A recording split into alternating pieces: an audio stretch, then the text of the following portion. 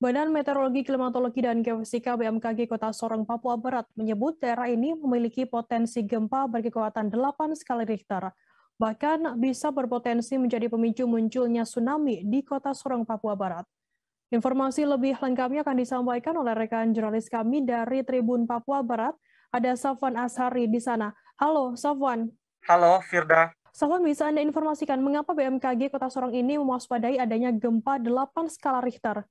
Iya, Firda dan juga Tribuners di mana pun Anda berada, hari ini dapat saya kabarkan dari Kota Sorong, Papua Barat bahwa BMKG dan juga BPBD Kota Sorong sendiri uh, tengah mewaspadai adanya gempa susulan berskala 8 skala Richter.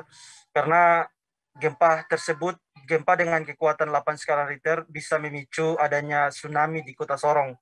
Sebab uh, ada pelajaran berharga sejak tahun 2015 lalu ada gempa berkekuatan uh, eh, 6 skala Richter sehingga mengguncang kota Sorong dan sejumlah fasilitas uh, di kota Sorong uh, rusak parah dan adanya potensi 8 skala Richter itu bisa saja mengakibatkan kota Sorong uh, tergenang uh, dihantam tsunami begitu Firda. Mm -hmm.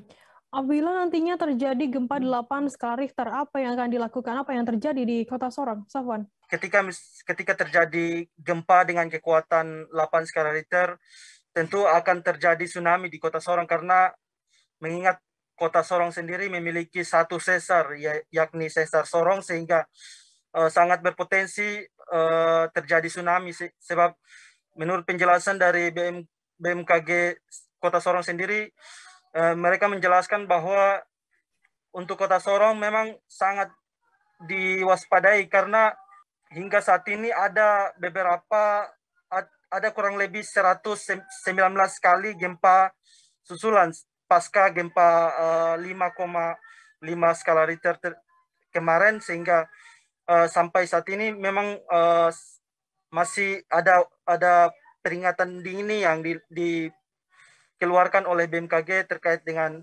antisipasi gempa susulan berikut begitu.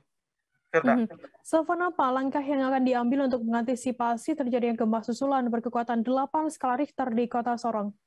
Iya, eh, BMKG dan juga BPBD Kota Sorong sendiri terus menghimbau masyarakat agar selalu waspada dan juga antisipasi. Dan kemarin eh, menurut keterangan dari BMKG, mereka telah melakukan uh, sosialisasi langsung ke sekolah-sekolah terkait antisipasi adanya gempa susulan dan juga adanya uh, adanya bencana alam lainnya seperti tsunami dan juga eh, hal-hal uh, yang hal-hal yang mengakibatkan macam gempa dan juga uh, cuaca ekstrim lainnya begitu Firda. Baik, terima kasih rekan jurnalis dari Tribun Papua Barat, Safan Asari atas laporan Anda. Selamat bertugas kembali. Dan tadi Tribuner Safan juga sudah menghimpun keterangan dari Kepala BMKG Kota Sorong, Ruli Oktavia Hermawan. Berikut liputannya untuk Anda. Kita memastikan dengan prediksi dengan uh, kekuatan uh, eh, 8 skala Richter.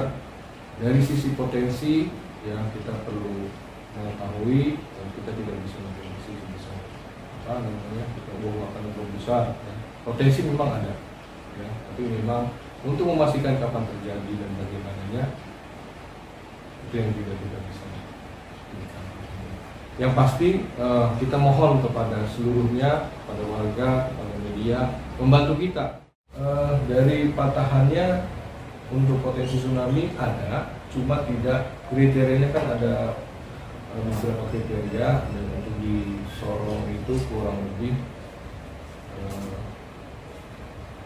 ketinggiannya 1 sampai 2 meter. Kita modeling untuk potensi tsunami.